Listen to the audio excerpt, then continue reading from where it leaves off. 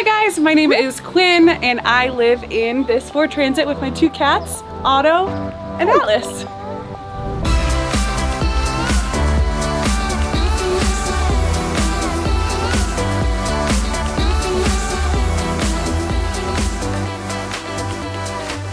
Twenty twenty was obviously a pretty crazy year for everyone, but I had just moved to Los Angeles from Chicago two weeks before the pandemic started.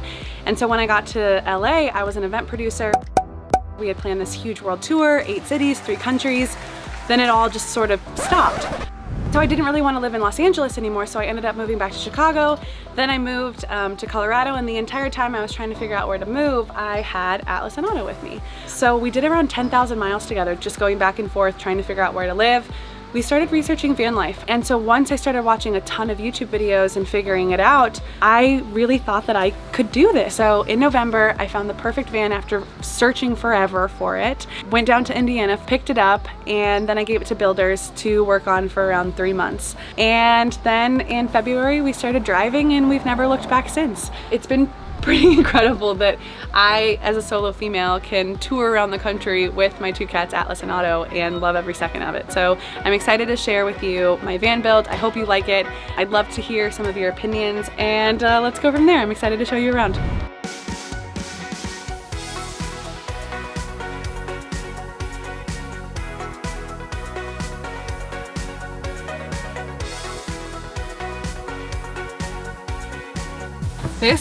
Is my kitchen. I was working with this contractor out of Grand Junction and he personalized a stovetop tray cover. And this is really awesome because I love my stove, but one of the things with the cats is they always go like this. This tray is an amazing tray because then it just doubles as a table and sometimes I work as a standing desk. Or if we're playing games or something, we'll take this, I'll put some food in it and any books or wine and I can like put it on my bed. So it's like a really nice addition that is both functional and looks pretty good. So this is my dish rack and so I use this when I dry my dishes and then when I'm not using it, I think it looks kind of nice. Like I don't know what else to put there. I absolutely love spices. I cook with spices all the time. This is a company called The Spice House out of Chicago. So it kind of reminds me of home because I used to live literally right across the street from it and I'm like obsessed with these spices. I started collecting things prior to this from all of my travels. And so one of my favorite souvenirs that I picked up like two years ago was these Portuguese tiles. So when I went to Lisbon, I picked up these really great tiles and a lot of them were broken and they kind of meshed them back together. That's probably one of my favorite personalized touches. I didn't want like a huge backsplash. I honestly think that eventually I'll put a window here. Okay, welcome to my upper cabinets. So here you have your pantry. So I have a ton of like nut products in here. I don't know why I love nut products so much. This is my dishes. So when I first started on the road, I stuffed this van. I put everything that I physically could fit in this van and then when I went on the road for the first month, I didn't use any of it. So when I went back to my home base, which is in Colorado, I ended up getting rid of almost all of my dishes. I didn't need plates. I only use bowls. So like these are the, they're like from Target. They're like the most incredible bowls ever. And then these are the non-breakable, non-chippable ones. I have my Magic Bullet blender and then I have three tea mugs. This is my two glasses. So if I want like a nice fancy drink, these are my two glasses. and that is pretty much the extent of um, my dishware. And then I also have all my toiletries. So since the Ford Transit is curved, that's why we can't do the, the up cabinet. And then these help with the springing, keeping them up. And then I also have like a magnet system to keep them closed. But this is all my skincare, my natural deodorant. My, I love The Ordinary, so cheap and so nice perfume because I still want to smell nice. And then I recently gave up coffee about three months ago because I am a solo female and I don't want to feel jittery on the road. So I drink a lot of mud water, I drink a lot of tea, but this is all of my skincare and all my stuff. And whenever I use it, I just sort of take it out and then I put here and then same with this is you just kind of put them down and then you put them back up and it's really easy. And I have a lot more space. So maybe I should buy some more products. Just kidding. so moving on is the sink. So the sink I really wanted because I wanted the most counter space. So I definitely wanted where the butcher block was also on top of the sink. But I wanted a very deep sink. I'm not so great at doing dishes and I have a lot of hair and so when I'm not able to shower I'd love to have my entire head fit in that sink. I don't love the fact that it's white because I realized it stains really easily. So if you can avoid getting white, I liked it because like my aesthetic is primarily white. Um, but if you can avoid it, avoid it because I realized it really stains pretty easily. so I have a sliding door. So one of the things with the sliding door is I initially wanted the sliding door for security and that way I could lock it whenever I needed to lock it. But I've learned that I actually like it more for insulation. Since I have two cats, typically if I'm cooking or maybe it's bad weather outside but I need the doors open or I don't know, I just need them to be in here for a little bit, I will open this, I will put them in there, they still have room to hang out, and then I will close this and I almost get this whole area to myself and I don't have to like attach them to the van or worry about them kind of like drifting away. And I'll only do this obviously when it's like cooler outside. Really, really, really highly recommend this door. And then anyone with a transit, you know how the roof kind of curves down? Well, it's a perfect space for some extra storage. So all of this is extra storage. It goes the entire distance. So I have like two towels back there. I've got some of my tools back there. I've got the cat food and a lot of the cat products back there. Um, and also you can see that this like overhang. So I've got a lot of my like receipts for my business. So this is an amazing way to utilize some additional storage in your Ford Transit. Additionally, with this partition wall is this is pretty hollow. Um, so I store things in it. So I can make this into like a spice pantry. I have towels hanging in, in it right now. I've got cleaning supplies, but you have about six inches in this partition wall where I'm like physically stuffing my window covers and some more cat products because this whole van is filled with cat products. While we're on the topic of sort of this wall, this is the lights in the main area. And then this one operates my water pump. So when I push this on, then I can get flowing water where I don't have to physically pump it myself. And then when I press this button, which I'm not gonna press this button right now, is my gray water tank is underneath the van. So when I press this button, it is an electrical release and then everything will be released into the dump. So it's super easy, super effective. I don't need to do anything weird wires down there, which is really nice. So this is a glass breaking sensor. So I've seen a lot of solo females um, use a system called SimpliSafe. So SimpliSafe is um, a security system. So if anyone breaks any glass, this will alert me and then I will, the police will be dispatched. So if I'm not here and something happens, the police will know my GPS coordinates and they will go to the location because I can do it on my app. So that's really nice. And then I also have a camera, which we'll show you a little bit later. And I have like a little module that it all connects into like a home base that I plug in um, and it has like electrical battery too. So if there's like a power outage, it will still work. Okay, so my fridge. I haven't had a chance to go grocery shopping, so it's a little empty, but this fridge fits a ton. So this is the isotherm. This is the 85 liter one, I believe. But you can tell it has a ton of space in it and it has a freezer. So the freezer does get a little like frost happy and there's like a ton of chunks of ice, but like I love it. I also, instead of using Ziploc bags, use a lot of the beeswax wrapped. I love them for cheese, for fruit, pretty much like this is a huge fridge. I love this fridge. This fridge is perfect for two people. For my build, I wanted to have a lot of desk space. I also wanted to have a lot of open space for the cat. I used to have like a Lagun table here, but it got kind of in the way.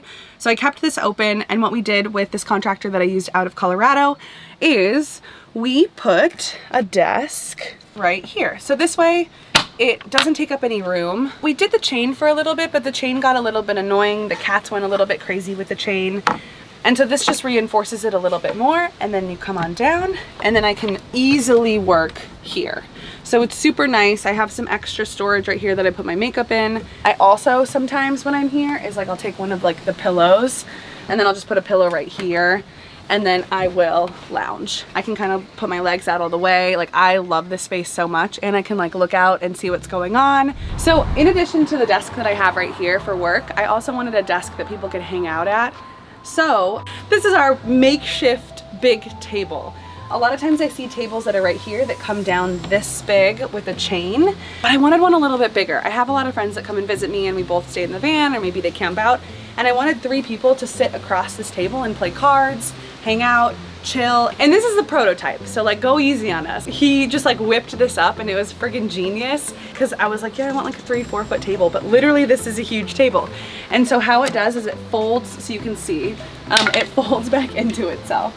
So what you do is that one already did it itself, so you can tell that it's a prototype. You take these little extenders off, you flip this down, and then you flip this down if it behaves and then there's a little latch and you stick the latch in And voila. Eventually, we're gonna have something here where it like kind of comes down like this and then it's also a standing desk. So if I'm sitting on the bench um, and laying out, I'll have this as an option too, or like I can stand and work from it. But again, that'll be prototype phase number two. Okay, so the two questions I get asked the most out of the van build is number one, where is your toilet? Do you have a toilet? And number two is where is the litter box? So let me show you. I decided to put, for space reasons, and because my fridge is huge, I decided to put my toilet underneath my bed. And so it rolls out and this isn't a very popular toilet in the van life industry. It's really used in boating, but this is called a C-Head toilet. It is a composting toilet. And then you have this little, little handle. You hook up this little handle and then you go like this. And so this is if you decided to go number two, this is how you would turn um, and compost it. Um, but I absolutely love this toilet. Again, it is cheaper than the Nature's Head and I, it does not smell at all. I put this little thing here so that it can hold this. But this is my toilet. I use it every morning. If I'm staying in a campground, I'll use obviously a campground. If I'm staying out in the middle of nowhere, I'll just like go outside. If I'm near a gas station, then I'll go in a gas station. But there's tons of options. So if you don't have a toilet in your van, it's you don't need to have a toilet in your van. It's just really nice. Um, I find this to be a luxury in my van. But it's great because I can just close it and no one knows it's there. So now the litter box. So um, for the litter box, there's a couple different reasons or ways to use it. So how you do it, and this is all clean, so don't worry. Um, right now I'm trying out paper pellets. I don't like clay litter because I just think it smells bad and I don't like the fact that it clumps up too much. I like stuff like this. But anyway, so this is a litter box. Um, this is how I dump it every single day. So one of the other things that I got stuck on is this is a charcoal deodorizer. This thing literally soaks up all the smell and then when it you can start smelling things again, you put this out in the sun for like 24 hours and it you just use it again. And I put this right next to the litter box, like right on the inside of it, and it works wonders. I'm obsessed with it. But another way that you can get to the litter box is if you remove this and you get to it this way. I don't really use this way as much. I typically do the rollout, but this is a really another great option. If you wanted to have a top entry, you would just put a hole right here and then your cats could go on the inside.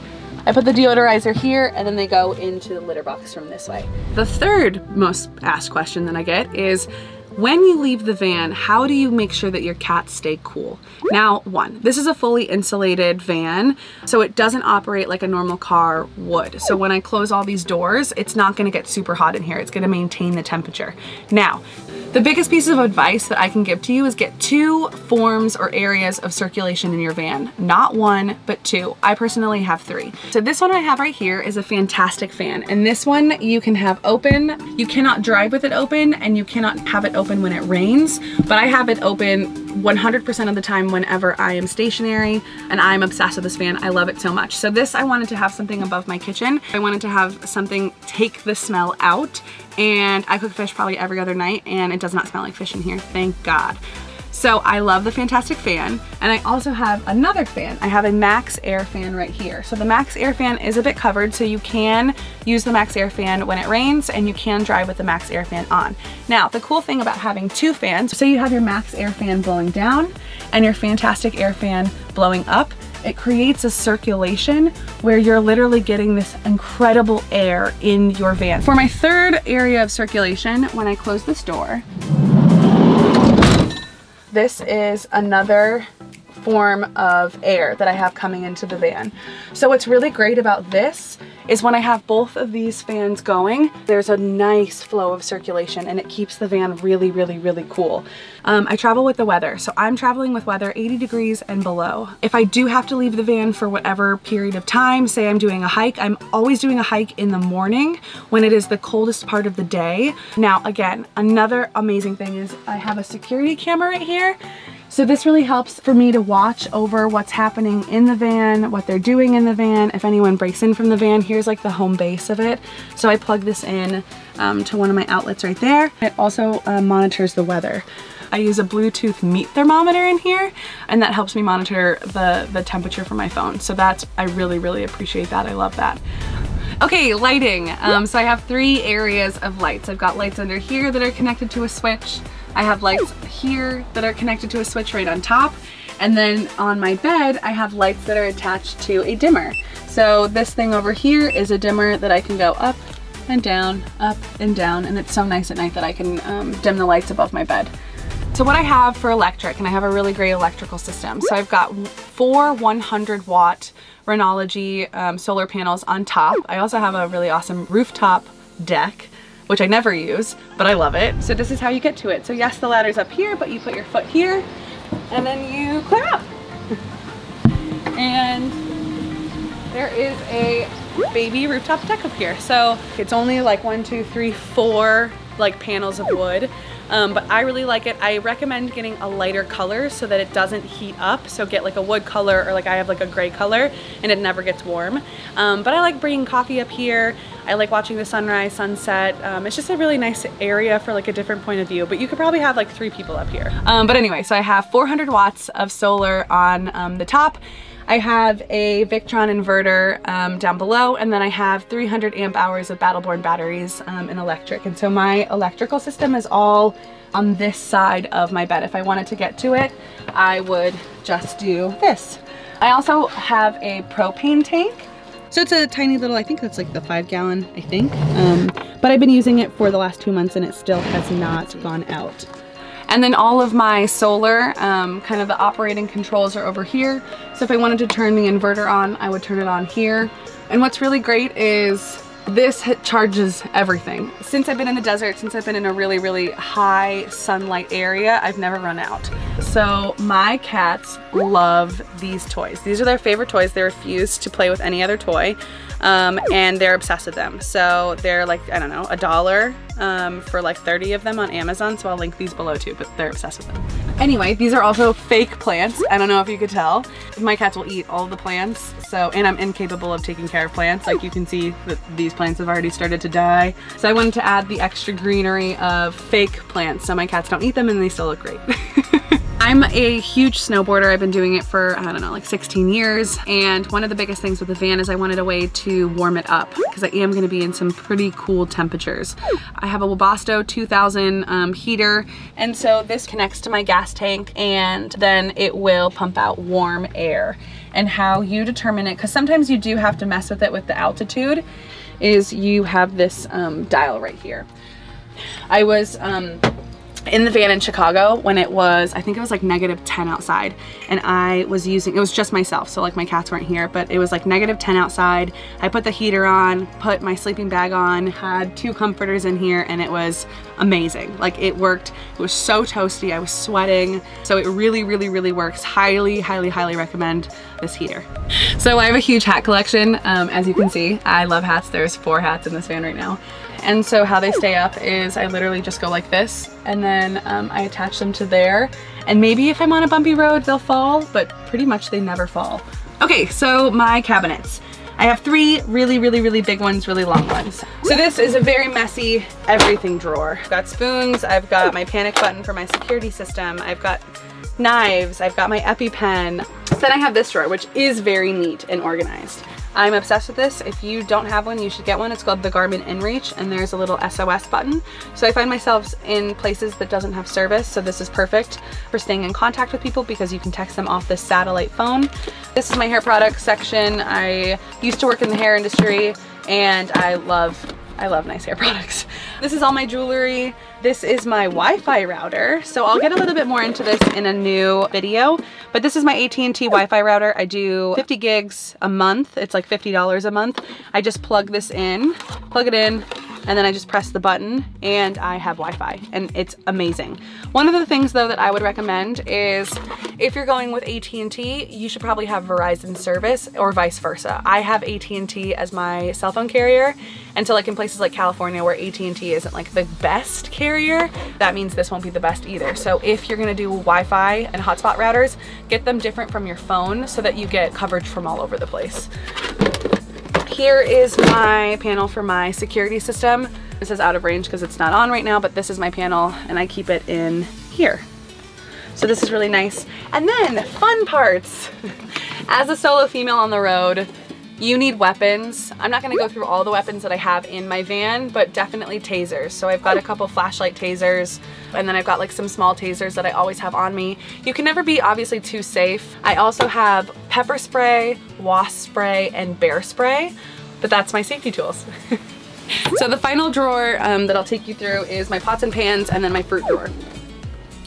So I absolutely love cooking with this. It's like an all-purpose pan. I also have a Dutch oven that one of my friends got me. Thank you, Meg. I have my fruit. I've got a blender.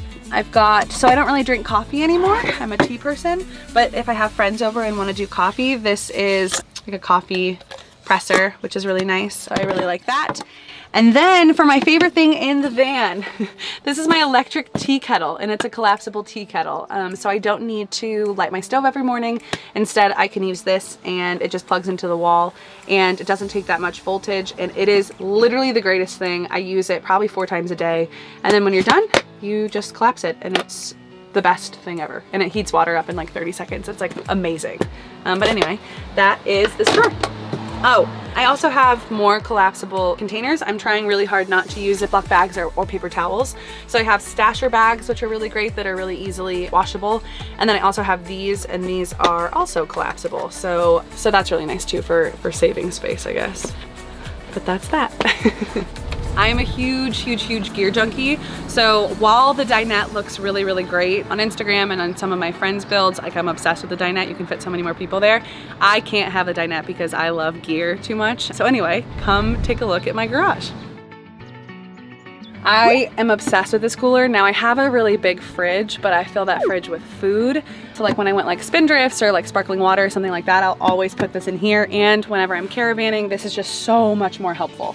But when you take the cooler away, I have so many other things. I've got extra clothes based on the season as well as if I'm in like a business situation or like I'm at a speaking event. This is like some of where my nice clothes live. I've got some of my like goggles, helmet, snowboarding stuff. This is really nice for my outdoor shower. So I'll just put this down so that I don't get muddy. This is a solar panel. So this is my extra backup um, solar panel. It is 100 watts and it's from Jackery and it goes to my Jackery electric generator. So this is a thousand watts. So this will power everything for days. Like I think I'm still on the first usage. So like when I'm outside, I'll use this for my laptop, I'll use it for my phone, I'll use it for a blender, anything like that. Oh my gosh, if I could tell you one thing, um, one it would be get the get the kettle that collapses. But it is put all of your stuff that you want to take to the gym in your bag so you're constantly not having to grab anything from your kitchen area or anything like that. So this is my toiletry bag, this is my shampoo bag, this is everything that I would do to shower um, or go to the gym. So gym shoes are in here too, so this is really nice. And it's just so easy to grab this instead of like having to, you know, place it everywhere. So that's that. Um, this is a moonshade, this is an awning. You can attach the awning here and go this way and like sleep with the doors open or get a little bit of extra shade. Or I attach my moonshade um, to the sliding door. So the sliding door goes above it. I'll show you guys a video of it. But that is my moonshade. So this is an awning.